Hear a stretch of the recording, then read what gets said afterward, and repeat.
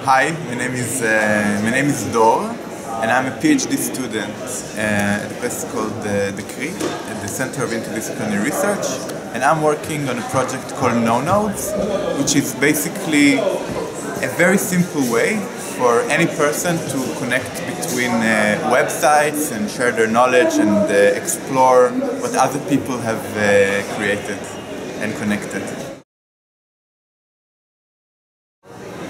Actually, a lot of people are using it for different uh, reasons. Uh, some people, uh, for example, if, if, if, they're on a, Wikipedia page that they see it's hard to understand, they can connect a tutorial to it.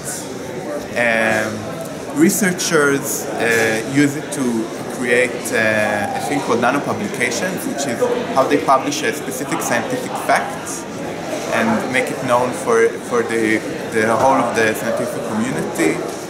Um, and we have a lot of people who are uh, just uh, students who use it to annotate uh, massive open uh, online courses.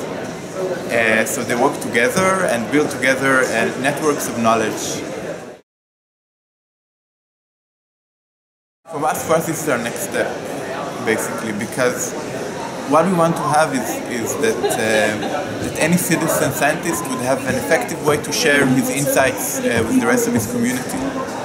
So KnowNodes is, is, basically a way to do that. So if you've uh, made a, a, discovery, whether it's a data, whether it's a learning resource, or, or it's just um, a crazy idea that you want to share with the community, you can just create a connection and share it with others, and they can react to it, they can vote on it, they can comment on it, they can evolve it. Well, I was scratching my own itch I wanted to know what's going on in educational technology, like what's the state of the art. And I found myself for months uh, um, sitting in front of the computer, very frustrated, um, you know, trying to make sense of all all these vast uh, amounts of information. And after a few months, I've created something, but nobody could really understand it. And I just realized that actually there's like there's a lot of people who are, who are trying to make sense of things, but they don't really have a way to share it. Uh, in a, let's say in a collective intelligence sort of way. Um, so, so I started to figure out what to do, and in the end, uh, KnowNodes came out. Basically, what what we're working on right now is is a, a concept called the P2P alliance, like a peer-to-peer -peer alliance. So how can we, how can KnowNodes as a, as a, as a software that is open domain, you can find other partners, labs, schools, uh, uh, MOOCs, uh, open educational resources, uh, all sorts of partners that would like to um, adapt it to their own uh, specific use case.